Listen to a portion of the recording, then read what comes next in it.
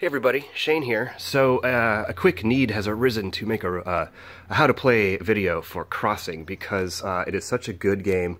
Uh, it plays up to six people, super easy to teach, super fun to play, uh, some good strategy, um, but it's just one of the best, real quick, real fun games that, that you could pretty much play with anybody.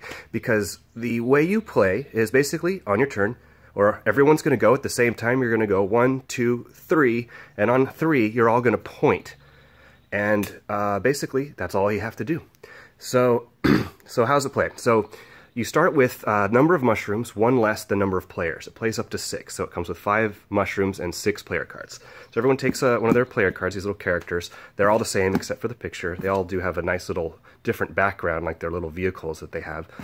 Um, so, so anyway, uh, you put two gems on each mushroom. Now there's a red, blue, and gold gem, and at the end of the game, if you have for each set of red, blue, and gold you have, you will get five points. For every loose gem of those colors, you will get one point, and for every clear gem you have, they are worth two points each. So you play until the bag is empty, and uh, and see who has the most points. So let's see how it plays. So on the count of three, everyone's going to point at a mushroom. Now what happens is, if you're the only one pointing at a mushroom, you will get the gems on it and you just simply put them on your card. If more than one person is pointing at anything, no one gets that thing. Okay, so let's say everyone went one, two, three, and two people were pointing at this one, two people were pointing at this one, and then the other two people were pointing at these. So this person gets their gems, and let's say it was actually this person over here, because you could point at anything no matter where you're sitting. So now now you will refill the empty gems, or the empty mushrooms, by putting two on each. And then you will put one on the ones that were not taken. Okay? Now you do it again. Now here's the thing. Now that there are gems on people's cards, uh, you can point at someone's card and steal from them. Of course, once again, if more than one person is pointing, you get nothing. Uh, you can also try to make deals, you know, uh, but you probably wouldn't do it at this point. But here's what happens. Now, to save your gems so they can't be stolen, instead of pointing at something, you can cover your card, which basically protects your gems. And then you're going to slide them off. And here's what will happen. So let's say this person's going to protect. So everyone goes one, two, three. This person protects. So if somebody tried to steal them, they would not get them. So uh, after that round, they would slide them to the side and flip their card over. So now you've got their little vehicle that they're taking off. They're going to go take their gems home. Now, the next round, they sit out, okay? So if they were the only ones sitting out of this round, notice now there's one person per mushroom. Now you can make negotiations. Let's say this person says, I would really like the gems on this mushroom. And this person says, I'll take this one. I'll take this one. I'll take this one. Everyone says, yeah, okay, we're all good. Let's all take the one we want.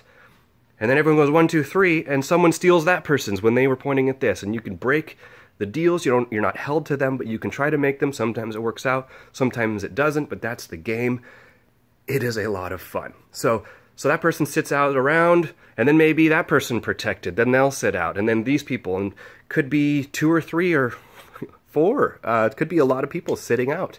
Um, maybe I don't know if anyone would ever do it all at the same time, but I haven't seen that.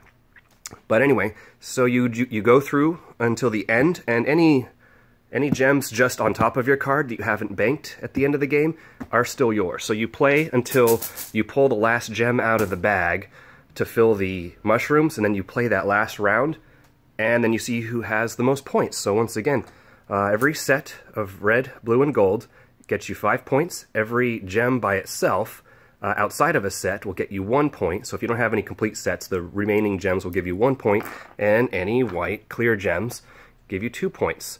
Uh, I forget the exact number uh, of gems, but there's I think there's only seven clear, and I think there might be 15 each of the other colors, something like that.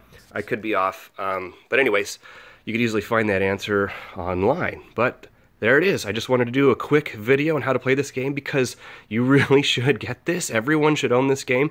It is so much fun, so easy to teach. I played it with my co-worker software developer uh, coworkers, friends, um, last Friday, and they all loved it. I've played it with my in-laws; they loved it. everyone who's tried this game has liked it. It's fantastic. It plays three to six.